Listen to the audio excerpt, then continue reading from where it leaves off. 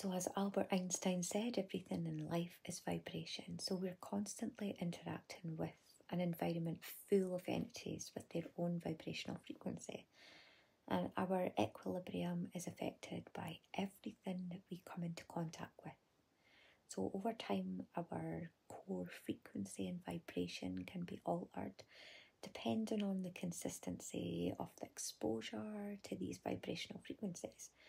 So, the correlation of vibration and frequency are interlinked. So, something with a low vibration can be increased in the presence of something with high vibrational frequency, and the higher the vibration of um, a body has, the higher the frequency that it emits. So, vibration will seek synchronicity. So, this is known as the law of entrainment.